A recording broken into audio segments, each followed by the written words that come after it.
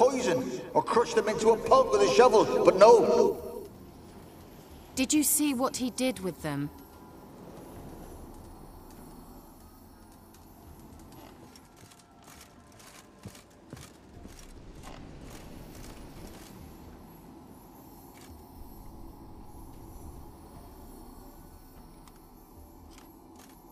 Keira, what are you doing? Geralt.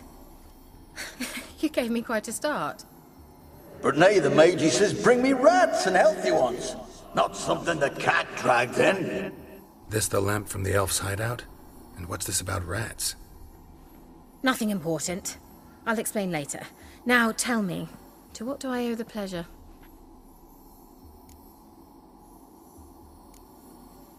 Why do you want the lamp? You just witnessed why. To communicate with lost souls. Didn't know you were interested in that kind of magic. There's nothing wrong with it. Mm-hmm. Why'd the elf promise you the lamp? We traded for it. He needed powerful magic and sensed I was no common wart charmer. I brewed him a potion. To delay nervous tissue degeneration, stave off memory loss, or some such. Who'd he want to use it on? He didn't say.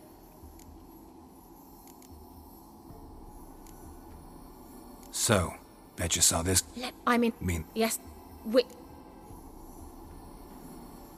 Changing the sub. Mentioned you wanted something from me. I did, and still do. The Cursed Isle on Lake Windammer. You've heard of it, I'm sure. The local peasants mumble incessantly about it, about the wraiths that haunt it. They claim none who go there return. How'd it come to be cursed? That's what I don't know. I must break this spell, yet I've been unable to identify its source. Gotta know something. Scraps. The curse is somehow linked to the tower where Serad, the lord of these lands, took refuge when Nilfgaard invaded. Claims in the village are that peasants, desperate of hunger, sailed to Fyke Isle to beg for food. Met their end there. It was a massacre. So, will you please help me lift this curse? You're so good at these things. Why are you so intent on this? I'm not. The local peasantry is. The Isle, miss. You've got to lift the charm. You're a good witch, a great witch. There's no end to it. Uh-huh. See, I thought you didn't care for the locals.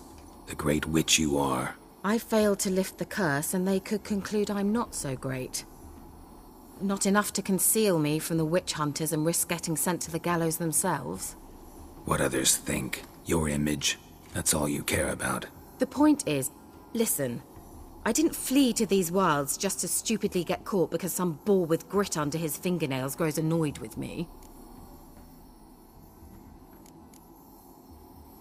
So the peasants who went to the island for food, this lord had them murdered? The villagers say he had them poisoned. A real gentleman. Hmm. Well, I never met him. But he certainly didn't seem such a cruel man, judging by what a mage from the Isle told me. A mage lived on the island? Did you know him? Where is he now? We were friends. Sadly, he died that day as well. Very few survived. Yet even those who escaped the Isle soon suffered agonizing deaths. Strangely, they did not seem to have been poisoned. All right, I'll help. I knew you'd find it irresistible.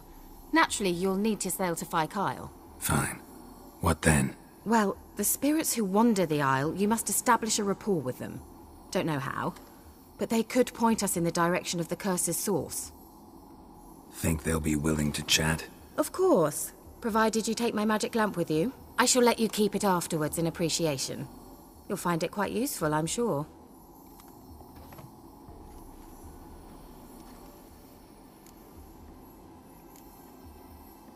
Can't you just come with me? I tried to go to Fyke once.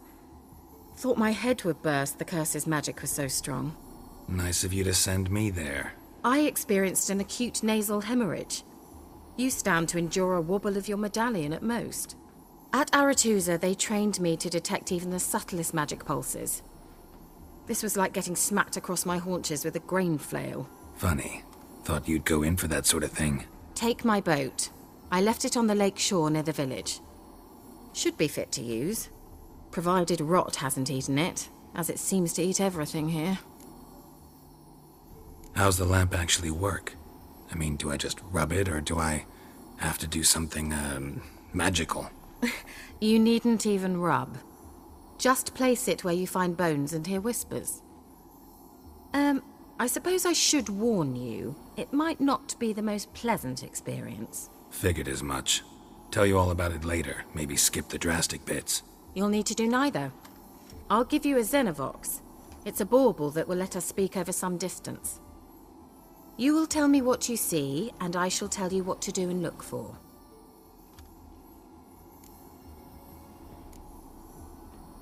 Never heard of a Xenovox. It works just like a megascope, but is far more portable. Think of it as a magic box that talks. They hard to build? Extremely. That's why they're so rare.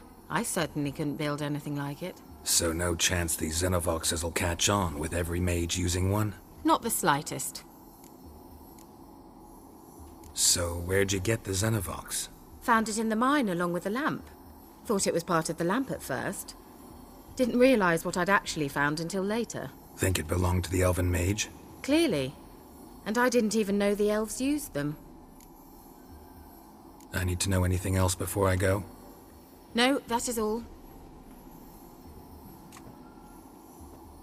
Oh, go already. I can't wait to see what you discover on Fyke Isle. Just be sure to come and see me afterwards. And Geralt. Hmm? Thank you.